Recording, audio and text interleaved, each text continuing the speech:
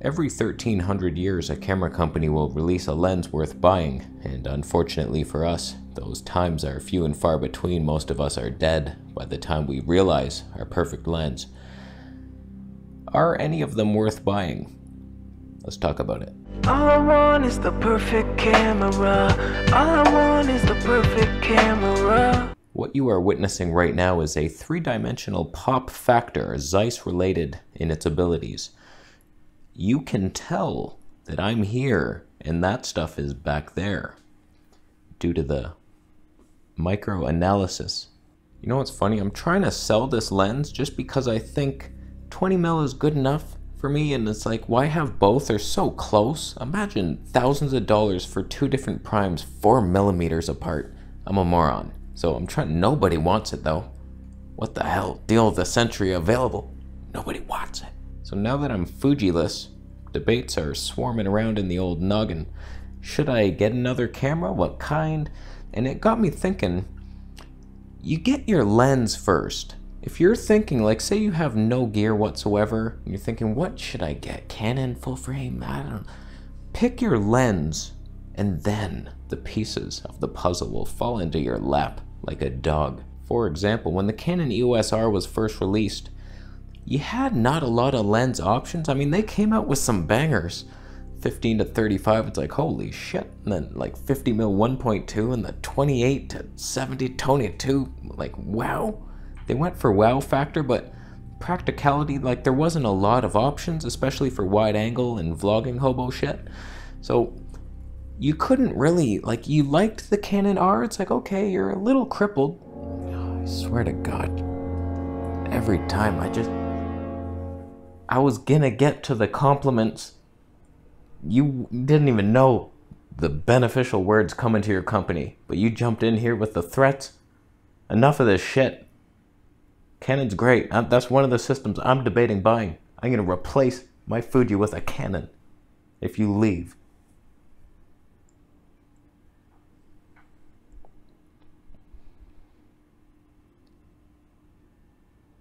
The reason I haven't pounced on the purchase is because Canon autofocus lacks behind Sony and their color science has fallen back. How could you hit a man with glasses? So I want to talk about each system. What is the magic lens they each have that would get you into that system? And just the takeaway from this video should be look at your lens first. Pick the lens, like, oh, that's my dream lens. And then the body this doesn't matter as much as the lens, as we'll see. If you're a Nikon fanboy, the, I was looking through their Z lineup, and I'll be honest with you, I cried.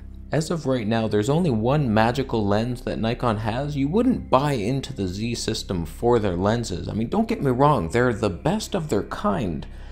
35mm 1.8 is probably better, sharper, more pleasing, more cinema-like than the Sony or Canon, but heavier, expensive, and it's the same thing. Like, they have nothing unique. Kind of, barely. I moved you closer to emphasize how special this lens was to my heart region the Noct.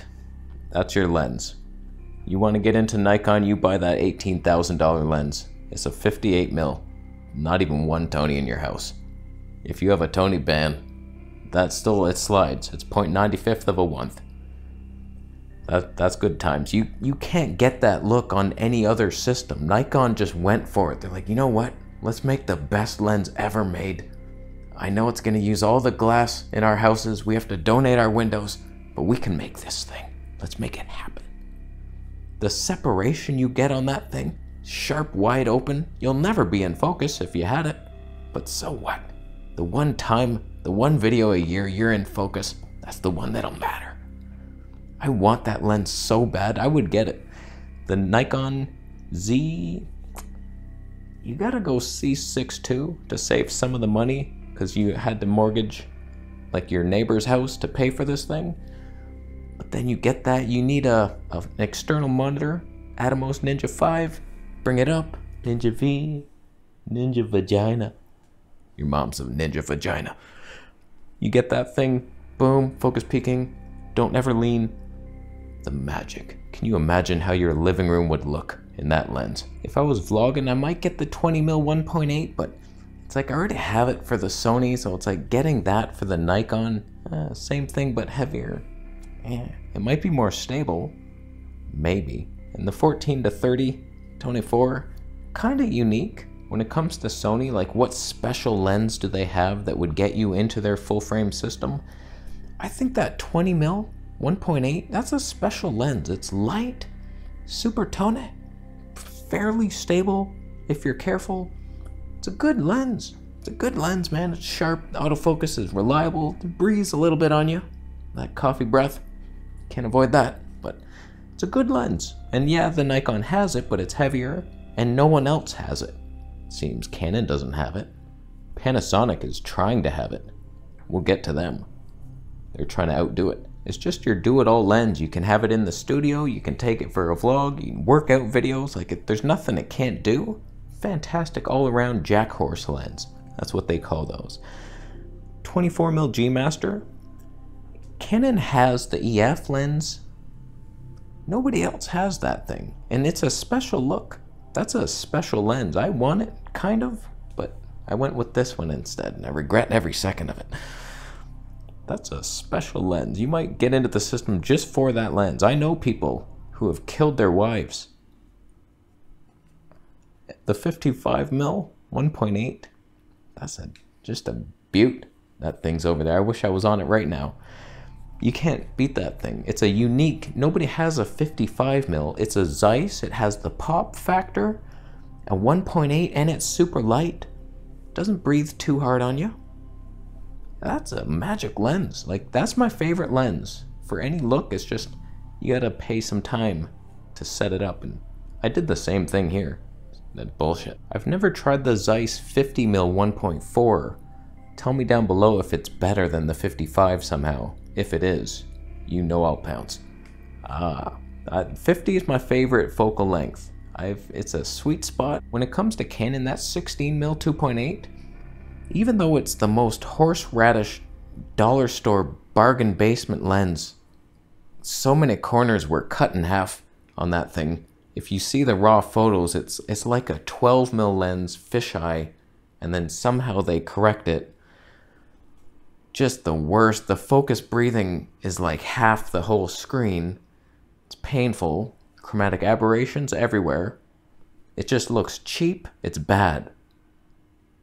Doesn't mean I don't want it. That thing is lighter than anything you got on the wide. We're talking GoPro, Canon RP, 16mm 2.8. It will look cheap. Don't try to impress anybody with it. But like you'll save arm strength. You could hold that thing if you were vegan. Before that lens, the only wide option was the 15 to 35, so heavy, and then they came with the 14 to 35, but the thing is a Tony 4 and still so expensive and pretty heavy. Like it's still really heavy. Ah, you're not gonna vlog with that thing. 14 mils too wide anyway. 16 mil, that's a perfect little thing. Also the 100 to 500, that's a unique lens. Nobody has it. That's a decent range. You can use teleconverters if you're that kind of freak. You hop trains and shit to get to your aunt's house. You're weirdo with your sack on a broomstick. But like that's a bird lens right there. And it's like it's not too small. They sacrificed a little Tony 7, but that's enough. I was happy with the Tony 11. That thing and those. I didn't even write those down. The 600 mil and 800 mil. Those are unique. I would think I think I'd go for the 600. I've tried the 800. You should extend that thing out. It's too big. It's a freak thing. 600 might be just enough I've had enough of this bullshit lensless switch. For the love of peanut butter sandwiches, my god, the Voigtlander has blessed us once more. A Tony 1.2 if it was a foot. When we move on to Fuji, who is dead to me, not even one Fuji piece of shit in this house, thank god. 16mm 1.4, that's your lens.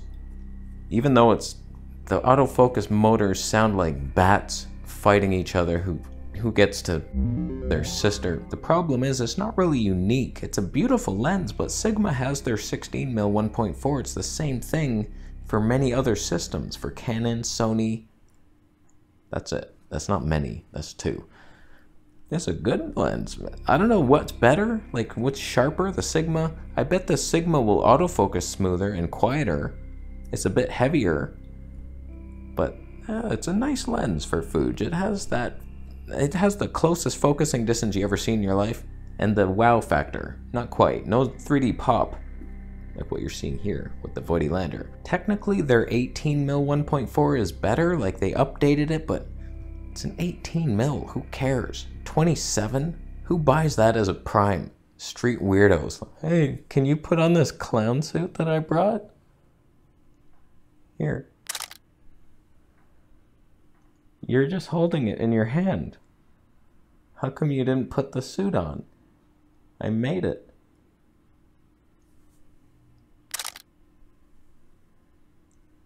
Where are you going? Why are you running away with my suit? Oh, that cost everything I had to make. Will you, can I email you the picture? Will you mail me the suit back at least?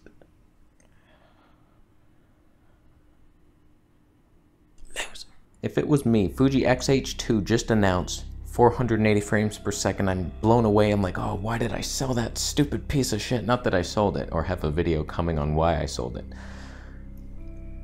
I would get the 33 mil 1.4. That's unique, kind of. It's like a 50 mil Tony 2. It's not that unique at all. It's no Zeiss 1.8, but I, I bet it's magical. I would I would like it, and also to vlog. There's nothing.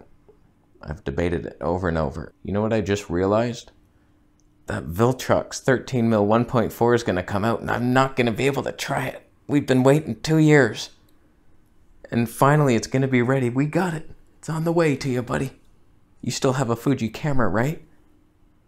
Oh, man. Who's selling a XT1? So Fuji's bullshit, they have nothing. When it comes to Panasonic, they have a couple. Let me just tell you 25 mil, 1.4. It's a Leica. My biggest regret in life. I had it. I had it in my hands. I had just bought the G85. I was in a coffee shop meeting somebody. They were selling it used. Good deal. 425, I think. I test that thing. Couldn't believe the Tony balls. There was Christmas lights back there. I was like, wow, that's magic. How come it looks so good? I should buy this. I'm just wondering though, maybe the Mitakon Chinese manufacturer has a 0.95 lens, it might be more Tony balls. You can't trust a Panasonic autofocus. This is a manual focus lens. It'll be easier to manually focus. What I didn't know was you could tap and move. You could just tap and move. I could have just been there. I could have used the app. Just boop. I'm in. Like a pop. Take that. Under a thousand bucks. I didn't buy it. And I live with that. That's on me. I take that one to the grave. Or my cremation area where you spread my ashes in a litter box. I don't care. I would buy that lens. Just I was just research I just saw it. I tell you, I have bad karma with this lens. I just saw it for 350 and I was like, "You know what? Let's do it for the good old days. We can finally have the lens. Just let's go for it. Who cares if I'll like it or not? Just do it. That's a cheap price, cheaper than it was back in the day. So I'm debating it and I'm like, maybe the Olympus 25mm 1.2 is better. So I do some comparisons and it is much better. But it's so much more money. I was like, okay, maybe I'll get that one. All this brewing of thoughts took time. And then he sold the Leica lens. And now there's nothing. I saw one guy selling it with an Olympus lens and or with an Olympus camera, and I was like, "How much for the Leica?" He's like, 450 It's like, "You piece of shit!" I just lost a hundred dollars. So I haven't pounced, but I'll never know what that lens looks like now. I have seen the 1.2 Olympus for 950. I don't know if I can do it. It doesn't have the 3D Leica pop. But if you're getting into Panasonic for some reason, you get that Leica. 25mm 1.4, whatever. You have to use your app or tap and run back to your seat and hope that you have enough time. It's like an obstacle course. I believe in you.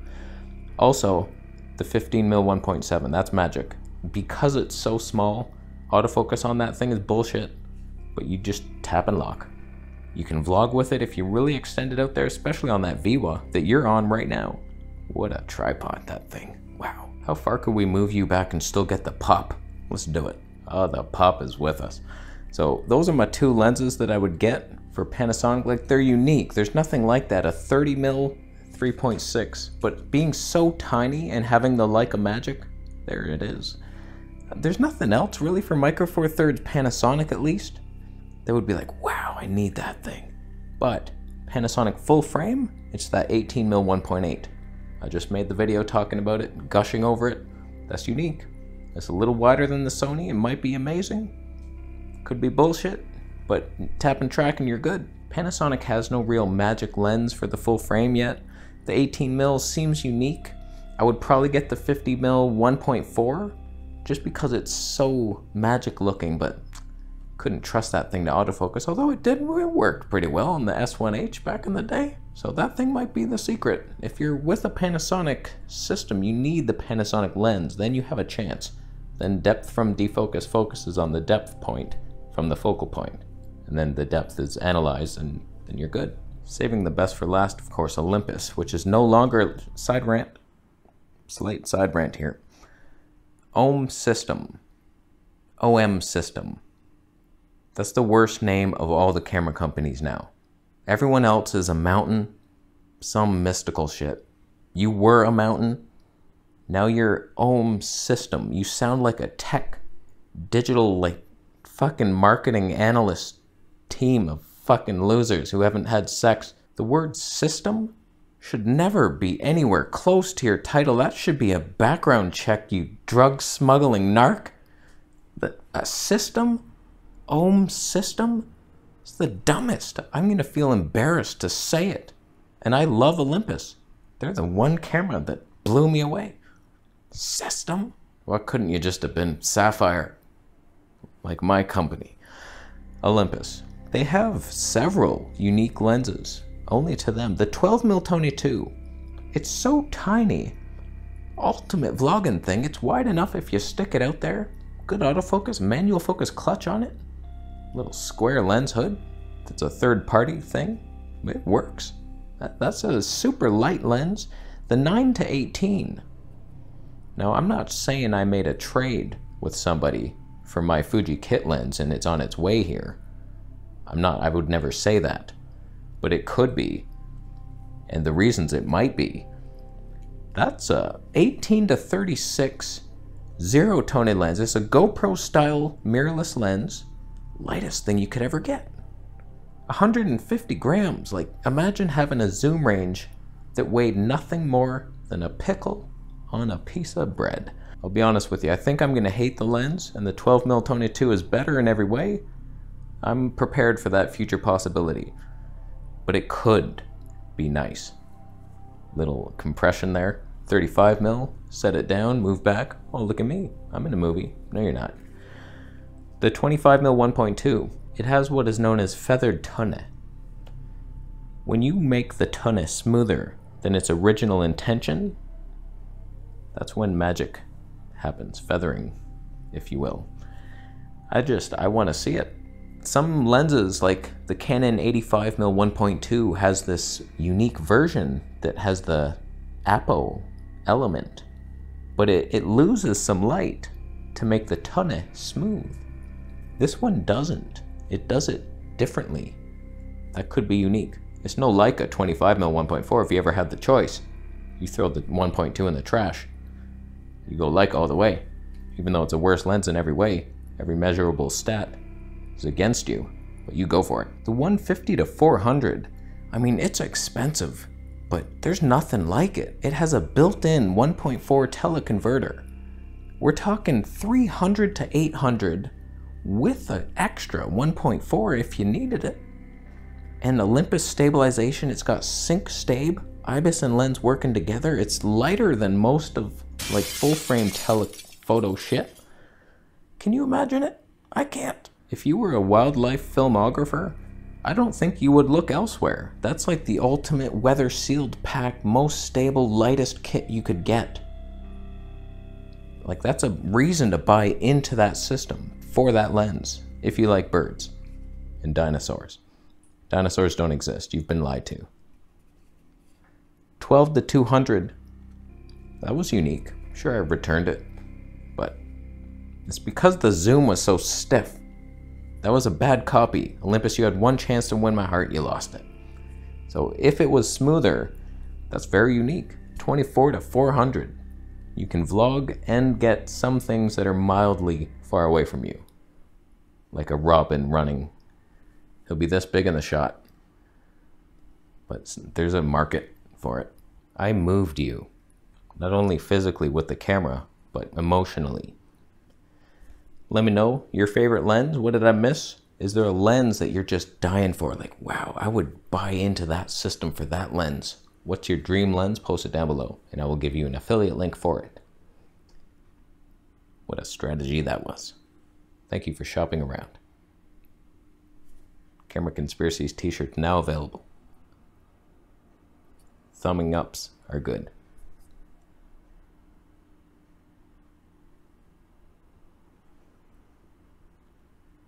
Bigfoot subscribed to me. How come you didn't?